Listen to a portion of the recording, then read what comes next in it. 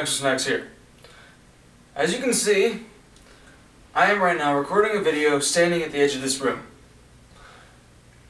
That video camera, although you may not notice, is on top of my computer desk. My computer desk is right in front of me. Right here, although you may not see it, that's a drum set. I play drums. Right here is where I keep my clothes. Over here is my stash of books. And over here is a picture of me and my woman, along with some memorabilia that I've collected over the years, as well as a lamp. Now, over there, some more books. Now, what you do see is a white wall, a brown door, and a jacket, and me. That's all you see. Now, this is infuriating. You know why? Because right now, somewhere in the world, somebody, somewhere, is suffering. Someone's dying. And you are watching YouTube videos. Now, I'm not at all going to talk down on you watching YouTube videos because that's what I do. What the fuck else am I going to do? I have nothing else to do. I live in suburbia now, but we fail to realize that sometimes, somewhere, someone in the world is dying, is suffering. It could be someone in your own neighborhood. I don't know what goes on at the house next to me. Nor do I know, uh, or nor do I uh, know what goes on at the house across the arroyo behind my house. I don't know what goes on in um, that guy's house over there across the street. I see his house. I know someone lives there, and I know because, you know, every now and then he walks outside, messes with his yard, plays with his dogs, and goes back inside. He has a family. I've met him maybe once or twice. Now, being the American I am, I can't really speak for uh, you other Westerners out there, assuming you're a Westerner. Um, I sit here and I watch these fucking YouTube videos and I watch these uh, these ideas and I go on these websites because you know what it's a good it's a good way of uh, learning the mentality of another individual or another group but as I sit here and as I watch these ideas or these YouTube videos someone somewhere in the world is suffering, is dying. There's a child right now that's starving. There's an old woman right now that's not getting any attention. There is someone being murdered. There's a woman being raped. There is something wrong going on. But what do I do? I sit here on my ass watching ideas. Now, this is why your lack of knowledge of my drum set or of my fucking books or of my clothes is infuriating. Not because you don't know of my life. I could care less if you know more about me.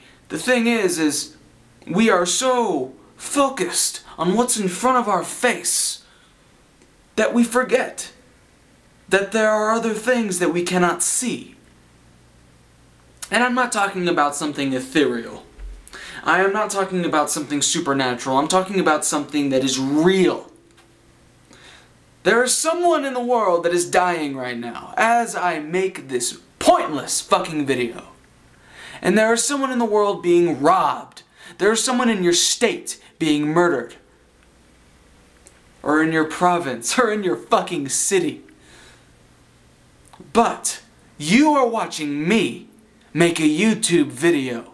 You're watching an idea. Now, is this wrong to watch ideas? No, it is not. In fact, it is the reason why the information age is such an enlightening era. Because it's the golden age of information. We can know anything at any point at any time, but we can! The YouTube watchers. Can someone who has no YouTube, who has or has no computer, you know, has no means of accessing this information, are they able to watch this idea? No, they're not. And that's infuriating because we don't see that. We just watch me. I'm watching a lens to give the um, impersonation, if you will, the idea, the illusion that I'm looking straight at you. When really, I'm right here. Now I'm looking at me But now I'm looking at you. It's fucking pointless. This whole charade of giving ideas and thinking that they will actually mean something when all we're doing is distracting ourselves from real problems, from real people, from real groups and real ideologies that need help, that need some sort of sustenance, if you will. So, I guess the point of this video is, when you're watching a YouTube video or when you're watching something that's in front of your fucking face, think that there's more to it than that. And I'm not talking about when you're looking at someone and you judge them immediately, not to do that because it's wrong and judgmental. Fucking do it, I don't care. Because sometimes what you judge people to be in our society, they tend to be that. You want, if you look at a bum, I'm fairly certain that he's poor. You know, if you look at some fucking moron with big ass gauges and a mohawk, uh, fairly certain that he has a low IQ. That was wrong of me to say. But I digress. What I mean is, when you are reading a book, or when you're watching a YouTube video, or when you're driving in your car to your job, you're focusing on those actions and you're distracting yourself from what's really going on on this planet. When you focus your entire existence on looking at the ground and looking at what's ahead of you, you forget to look up and around you. You forget that this is around Earth, and there are other places besides your route to work, besides your occupational location, besides your house, besides your city, your state, or your country. Because country, especially in my country, seems to be the farthest it's the farthest that we let our realities go. We think of ourselves as Americans, and we look at America as this country. Oh, and all those other countries. But, you know, there are places like uh, South Africa, where the unemployment rate is, what, 40%? There are places like Egypt, where, I mean, uh, whatever. Uh, it's pointless to give you examples. You already understand. If you are at this point in my video and you are listening to anything I'm saying, you already understand exactly what I'm trying to convey, the idea I am giving to you. You know what I'm talking about, if you're at this point. If you don't, you're a fucking moron. So, I think that I will end this video. Now, I think I'm going to end it now. And I think that you should, after watching this video, look at everything as...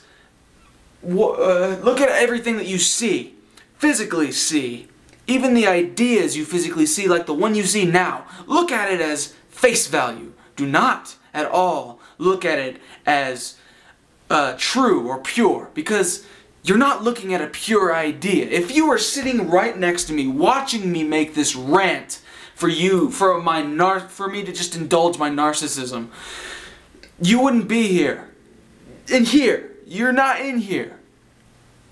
You, you, what you see and hear, even right now, is an electronic interpretation of what's really going on.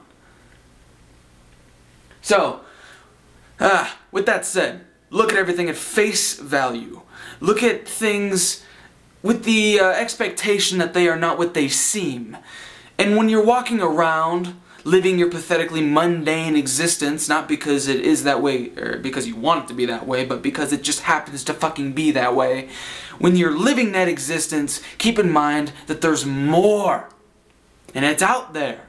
And you have to fucking see it for yourself in order to believe it. But the awareness that it's there should be enough for you.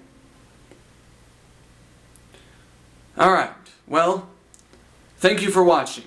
If you like it, uprate. If you don't, downrate, comment, and respond, please. Axl Snaxle out.